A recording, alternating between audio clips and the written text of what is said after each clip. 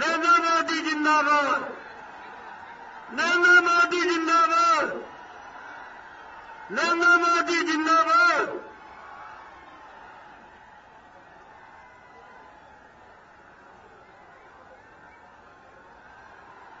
Şimdi nereye?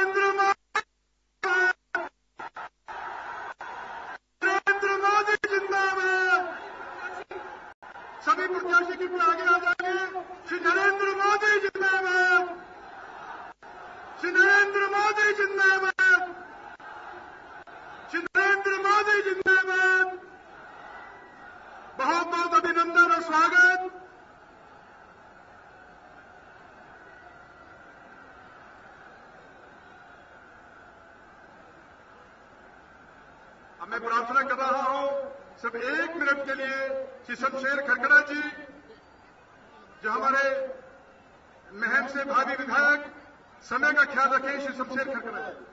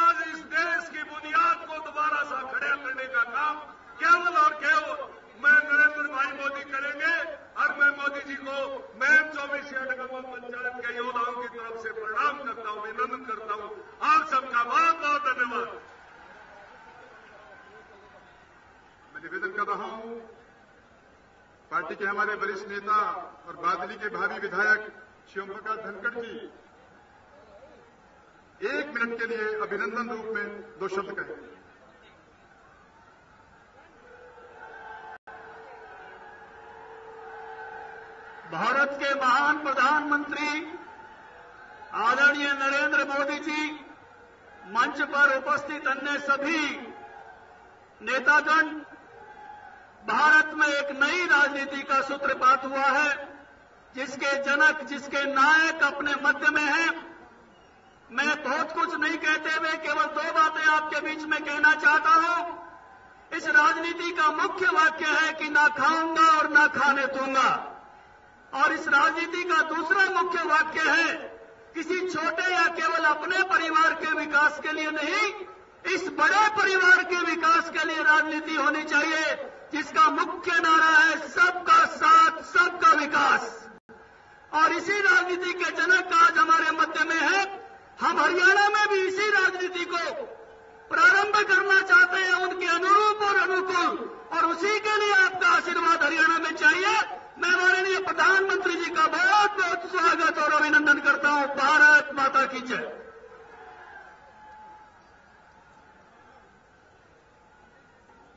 अब जिस प्रिय नेता को हम देखने के लिए, सुनने के लिए, जिनकी झलक पाने के लिए लाखों की संख्या में आए हैं, मैं आप सबकी ओर से उनसे निवेदन कर रहा हूँ। पधारे हम सबका संबोधन, मार्गदर्शन, आशीर्वाद दें, मान्य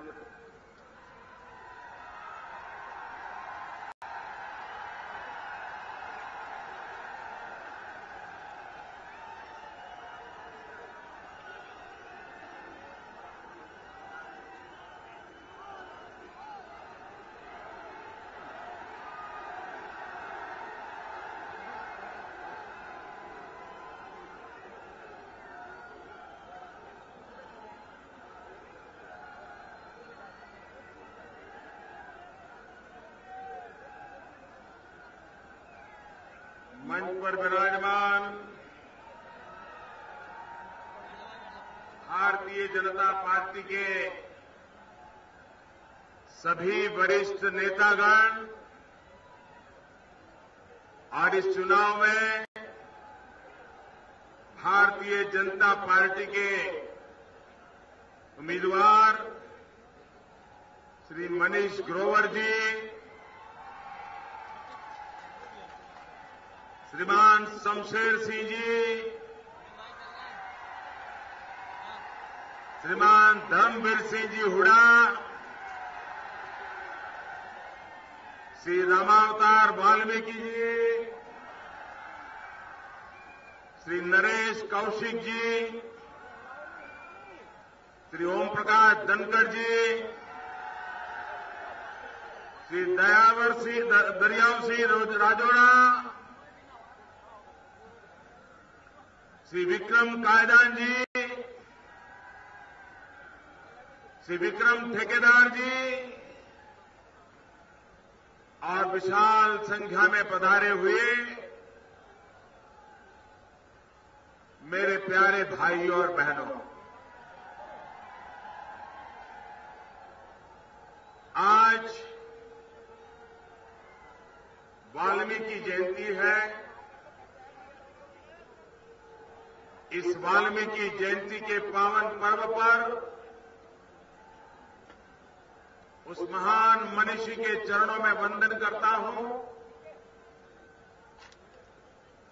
और भाइयों बहनों, अब चुनाव बहुत निकट आ रहा है।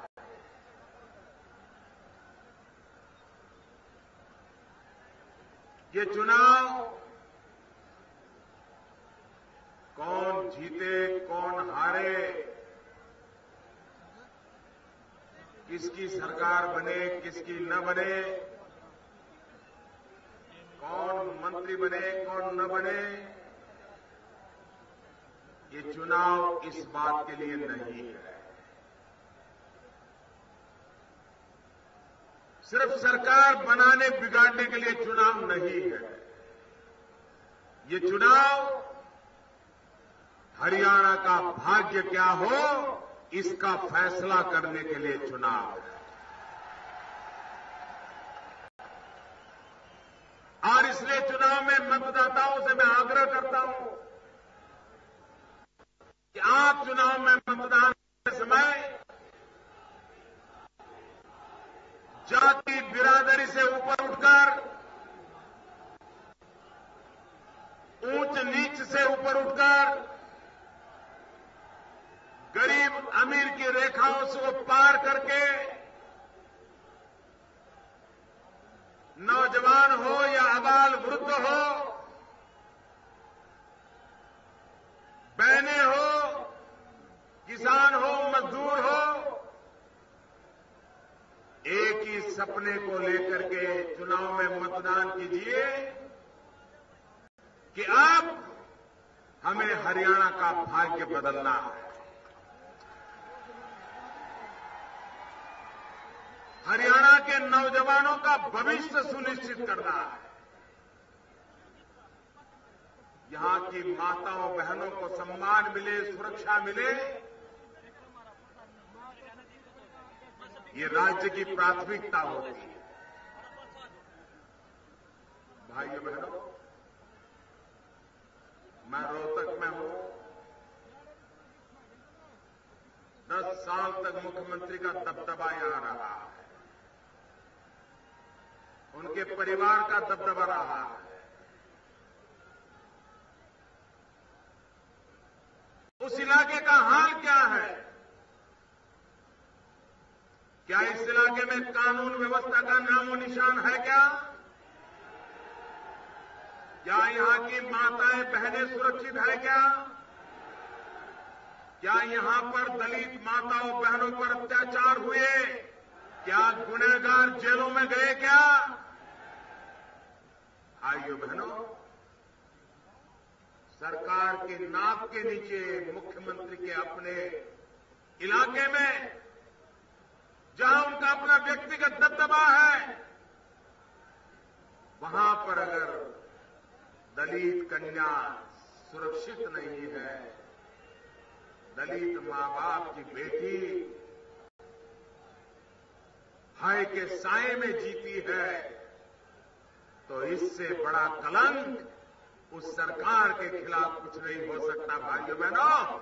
इस कलंक को मिटाने के लिए ऐसी सरकार को यहाँ से हटाना, ये हमारा दायित्व तो बन जाता है।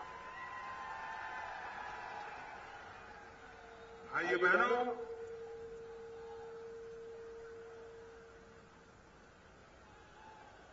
दो हज़ार बारह में सरकार के chairman, committee of welfare of SC and ST ये संसदीय कमेटी, कांग्रेस सरकार की संसदीय कमेटी, उस संसदीय कमेटी आपके क्षेत्र में आई थी। 19 दलित कन्याओं पर बलात्कार की घटनाओं ने पूरे हिंदुस्तान को झकझोर दिया। खुद कांग्रेस सरकार के उस पार्लियामेंट की संसदीय कमेटी ने, जिसके चेयरमैन एक पुरानी कांग्रेस रहे, उन्होंने जो रिपोर्ट दी थी, वो रिपोर्ट बड़ी चौंकाने वाली है।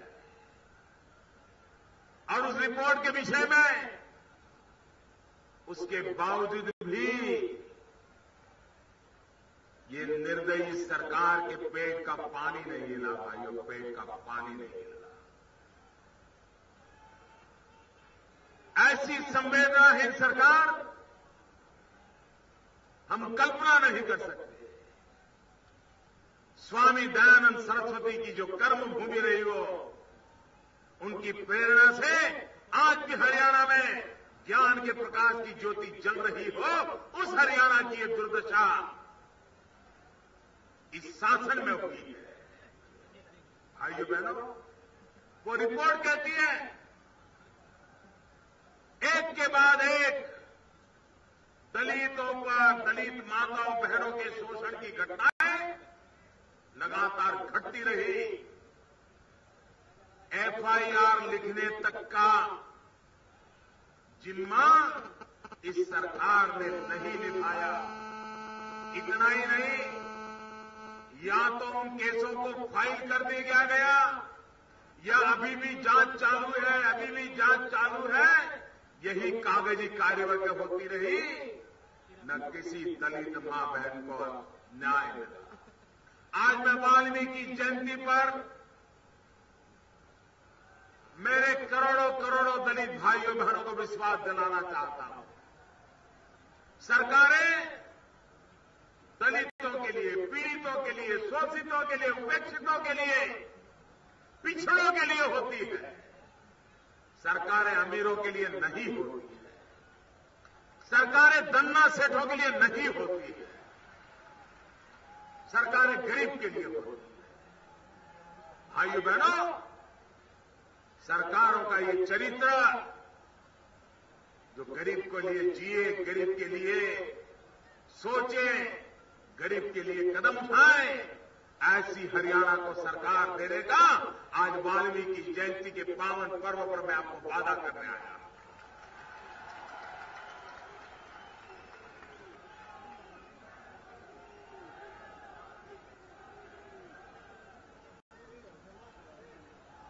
मैं हरियाणा में बहुत लंबा समय रहा। यहाँ के हर गली मोहल्ले से मैं परिचित हूँ।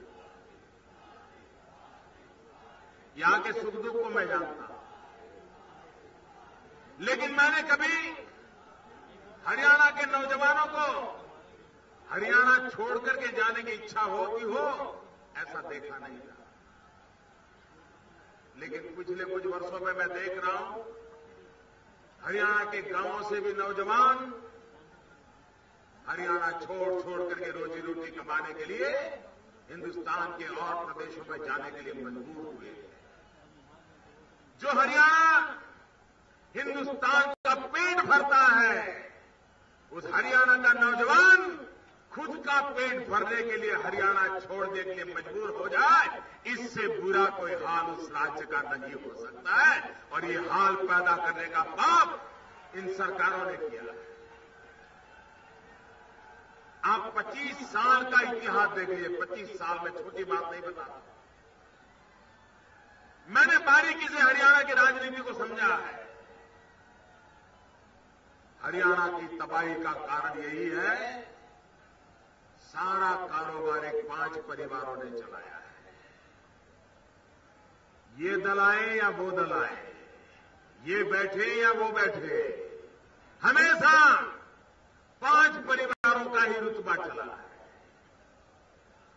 कभी जाति बिरादरी के नाम पर, कभी किसानों के नाम पर, राजनीति के खेल खेलते चले और सत्ता में पहुँचते ही जो मुखिया है, उसके परिवारजनों ने ठेके बांट लिए, ज़िले बांट लिए, इलाके बांट लिए, दुकानें खोल करके रख दी भाई ये हुआ है कि नहीं हुआ है हरियाणा में भाइयों। ये हुआ है कि नहीं हुआ है। हरियाणा बर्बाद हुआ है कि नहीं हुआ है। हरियाणा बचाना है कि नहीं बचाना है? जब तक ये परिवार शाही से हरियाणा को मुक्त नहीं करोगे, हरियाणा बच नहीं सकता भाई और ये पहला अवसर आया है, बहुत सालों के बाद आया है। पहली बार लोकतांत्रिक प्रक्रिया में विश्वास करने वाली गरीब से गरीब नागरिक के सम्मान की चिंता करने वाली सरकार बनने की संभावना पैदा हुई है। भारतीय जनता पार्टी आपके सपनों पूरों करने के लिए सामर्थ्यवान है। आपने आपके सपनों को पूरा करने का संकल्प लेकर के आज भारतीय जनता पार्टी एक अवसर लेकर के आपके पास आई है। मैं विशेष करके माताओं बहनों को, नौजवानों को अनुरोध करता हूँ, किसानों के आवेदना करता हूँ, सेना के फौजियों को आग्रह करता हूँ, निवृत्त जवानों को आग्रह करता हूँ, ये मौका जाने मत दीजिए। ये अवसर आने वाले 25 साल हरियाणा के कैसे हो, इसकी नींव डालने वाला अवसर बनने वाला है, जो एक आने वाली तीन पीढ़ियों का भला करने का काम इस बार के चुनाव में आपको करना है। परिवारवाद से मुक्त होना है। मैं तो हैरान हूँ।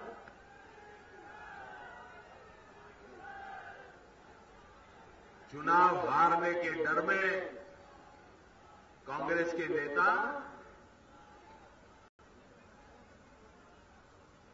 झूठ पे झूठ चलाए जा रहे हैं। पहले घोटाले पे घोटाले, अब चुनाव के मैदान में झूठ पे झूठ। ये घोटालों की सरकार है। इन्होंने स्कैम हरियाणा बनाया है। हमें स्किल हरियाणा बनाना है।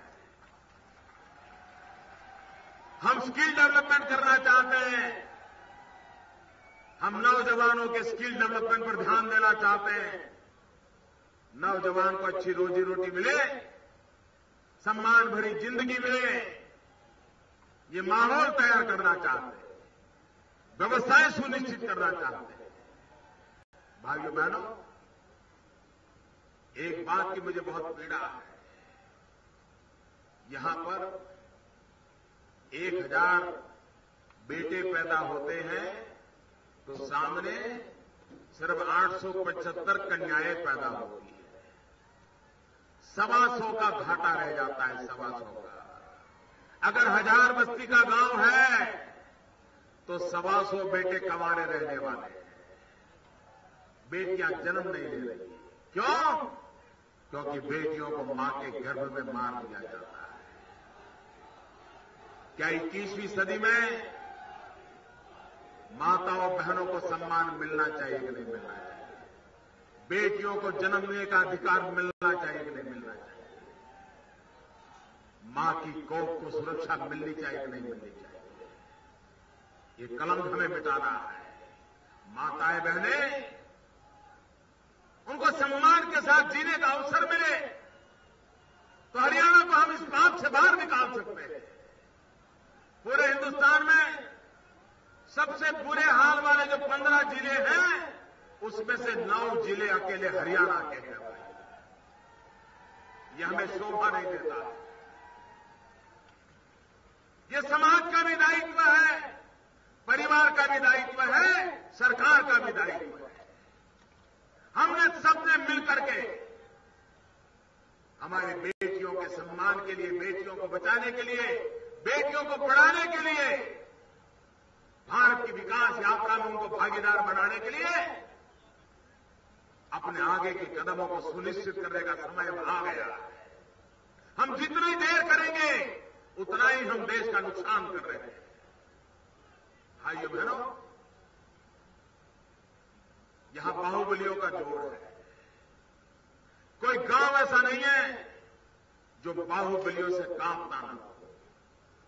निर्दोष नागरिक, कानून में विश्वास करने वाले नागरिक, उनका जीना हराम हो गया है। गाँव के अंदर बहने, बेटियाँ बाहुबलियों के कारण घर से बाहर निकलने से डरती है। और ये सारे बाहुबली किसी न किसी राजनेता के छत्र छेहा में पड़े हुए हैं। इन चीज़ों को मुझे तोड़ना है। इन चीज़ों को नष्ट करना है। बाहुबलियों से हरियाणा को मुक्ति दिलानी है। पंद्रह अक्टूबर पंद्रह अक्टूबर को आपकी उंगली में ताकत है, आपकी उंगली में ताकत है। आप पूरे हरियाणा को बाहुबलियों से मुक्त करा सकते हो। आपकी उंगली में ताकत है। आपकी उंगली में वो ताकत है कि पंद्रह तारीख को आप पूरे हरियाणा को भ्रष्टाचार से मुक्त करा सकते हो। आपकी उंगली में वो ताकत है कि पंद्रह तारीख को आप बेईमानों से हरियाणा को मुक्त करा सकते हो। परिवारवाद से मुक्त करा सकते हो, भाई भतीजावाद से मुक्त करा सकते हो, और इसलिए 15 अक्टूबर को कमल के निशान पे बटन दबा करके भारतीय जनता पार्टी की पूर्ण बहुमत की सरकार बनाइए। इसके लिए मैं आपको निमंत्रण देने आया। भाइयों, बहनों, आज देश तेज गति से आगे बढ़ना शुरू हो गया है। इतने कम समय में ये आसार नज़र आने लग गए हैं, अपने यहाँ कहावत है, पुत्र के लक्षण पालने में झूले में जन्मते पता चल जाता है लक्षण क्या है। ये सरकार के भी सवा सौ साल में लक्षण नज़र आ रहे हैं, देश को कैसे आगे बढ़ाएँगे। आप देखिए पूरे दुनिया में आज हिंदुस्तान का डंका बज रहा है। बज रहा है नहीं बज रहा है हिंदुस्तान का डंका बज रहा है नहीं बज रहा है अमेरिका भी हिंदुस्तान को मानने लगा है कि नहीं लगा है अमेरिका में भी हिंदुस्तान का डंका बज रहा है कि नहीं बज रहा है क्यों बज रहा है क्यों बज रहा है क्यों बज रहा है क्यों बज रहा है ये मोदी के कारण नहीं बज रहा है मोदी के कारण नहीं बज रहा है ये मोदी का जादू नहीं है। ये मोदी का करिश्मा नहीं है। आज अमेरिका में भी हिंदुस्तान का डंका बज रहा है। आपके कारण बज रहा है। हिंदुस्तान के सवा सौ करोड़ देशवासियों के कारण बज रहा है।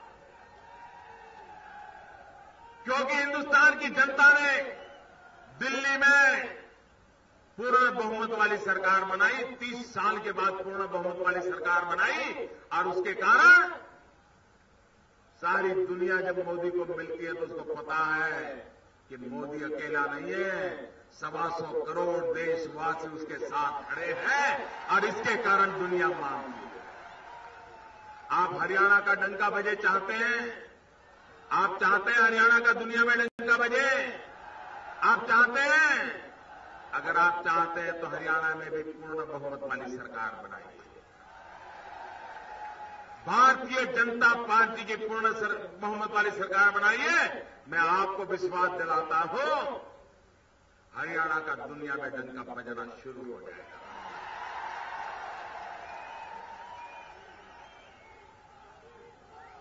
हम राजनीति में छुआछूत में विश्वास नहीं करते। हम राजनीति में अपने पराये के खेल खेलने वाले लोग नहीं हैं। हम तो वो लोग हैं जो पंडित नेहरू के सवा सौ वर्ष मनाने के लिए भी योजना बनाते हैं, भारत के प्रधानमंत्री जो प्रथम प्रधानमंत्री को सम्मान मिले, ये सोच हमारी है।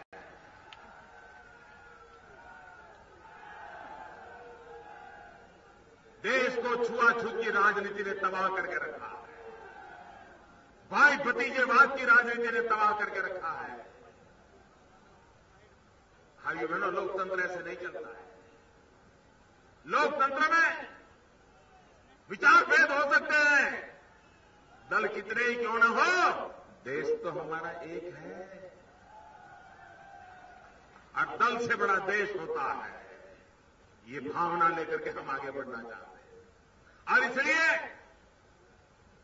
राज्य के साथ केंद्र का रवैया क्या रहे, हमारी सोच बहुत साफ़ है। हम सिर्फ़ केंद्र और राज्य पास पास हो। यहाँ रुकना नहीं चाहते। हैं हम चाहते हैं केंद्र और राज्य पास पास तो हो साथ साथ भी हो। ये हम चाहते हैं। जब पास पास होते हैं तो एक के साथ एक जुड़ करके दो हो जाते हैं। लेकिन अगर साथ साथ है तो एक और एक के साथ ग्यारह नज़र आते हैं, ग्यारह नज़र आते हैं। और इसलिए हम केंद्र और राज्य का संबंध एक और एक दो का नहीं, एक के साथ एक, ग्यारह तक ले जाने के लिए सोचते हैं। एक में से ग्यारह की छलांग लगाना चाहते हैं, इस मिजाज से हम देश चलाना चाहते हैं। टीम इंडिया का सपना लेकर के चलाना चाहते हैं। और इसलिए भाइयों बहनों, मैं आज आग्रह करने आया आपका कि हरियाणा को अब तबाह मत होने दो। हरियाणा को और लुटने मत दो। हरियाणा का भाग्य निर्धारित कीजिए और आधा अधूरा मत कीजिए। आधा अधूरा मत कीजिए। वरना आपको कोई जवाब ही नहीं देगा। गलती ये करेगा तो बोलेगा नहीं, उसने की उसने की उसने की, सब भाग जाएँगे। अगर आप किसी सरकार का काम पकड़ना चाहते हो ना तो उस सरकार को पूर्ण बहुमत दो। देखिए, पाँच साल के बाद, पाँच साल के बाद जब लोकसभा का चुनाव आएगा तो देश की जनता मोदी का कान पकड़ पाएगी कि नहीं पकड़ पाएगी? जवाब मांग सकेगी कि नहीं मांग सकेगी? क्योंकि मोदी बहाना नहीं बता सकता है, उसको कहना पड़ेगा हाँ भाई, आपने मुझे पूर्ण बहुमत दिया था, मुझे काम करके दिखाना था। मैं ये नहीं कह सकता हूँ, उसने नहीं किया, उसने नहीं किया, नहीं कह सकता हूँ। मुझे जवाब देना पड़ेगा। मेरी जिम्मेवारी तय होगी। हरियाणा में भी, हरियाणा में भी पूर्ण बहुमत की सरकार बनाओगे तो आप सरकार का कान पकड़ पाओगे। मैं जनता को वो अधिकार देना चाहता हूँ, ताकि जनता सरकार का कान पकड़ सके। लेकिन वो तब संभव होता है कि जनता पूर्ण बहुमत वाली सरकार बना दे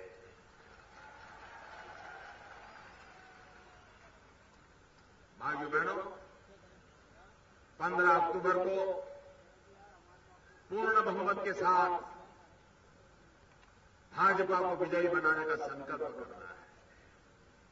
भाइयों बहनों, हमारे देश में तिरंगे झंडे के तीन रंग हैं और उसमें एक चौथा रंग है, ब्लू कलर का उसके अंदर अशोक चक्र है।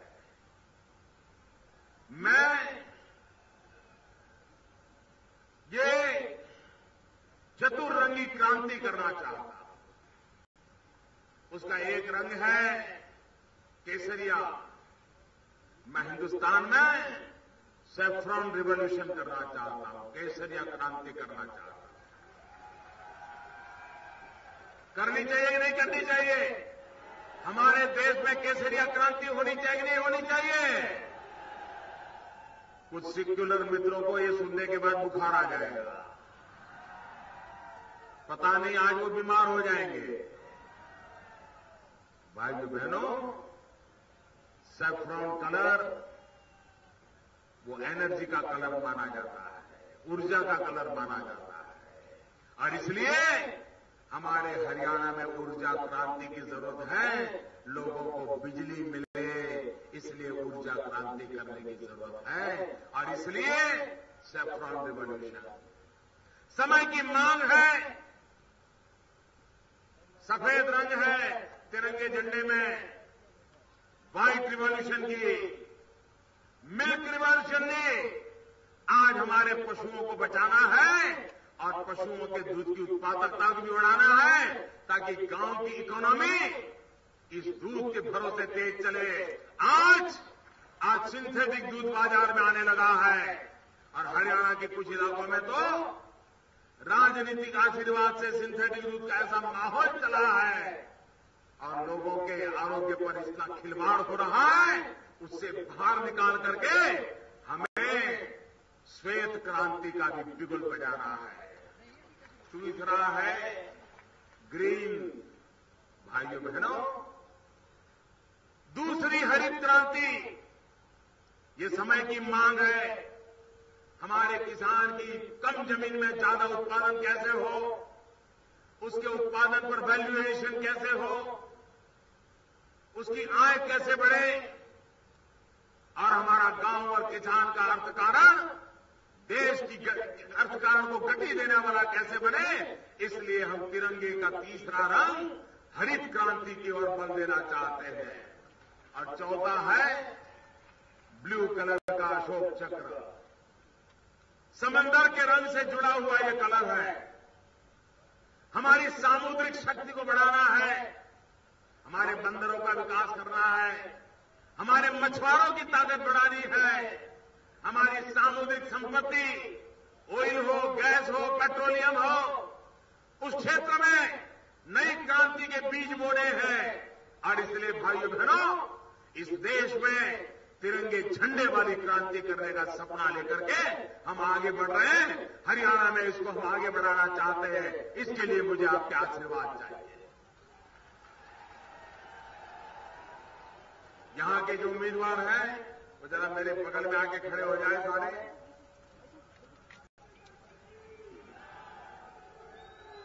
भाइयों बहनों, मेरा एक काम करोगे? मेरा एक काम करोगे? मेरा एक काम करोगे? सबके सबका जवाब चाहिए, मेरा एक काम करोगे? बहने, मेरा एक काम करोगे? पक्का करोगे? सभा के बाद जब यहाँ से जाओगे तो जो खाली बोतल पड़ी होगी, प्लास्टिक पड़े होंगे, कागज़ पड़े होंगे, कोई कूड़ा कचरा पड़ा होगा तो उसको उठा के ले जाओगे ना? पक्का ले जाओगे ना? मैदान साफ़ करके जाओगे ना, ये भारत माँ को अब हमें गंदा नहीं रहने देना है। हम भारत माँ में गंदगी नहीं होने देंगे। ये वादा पूरा करोगे ना? मैं आप पर विश्वास करूँ? दोनों मुट्ठी बंद करके मेरे साथ बोलिए, भारत माता की, भारत माता की, भारत माता की, भारत माता की।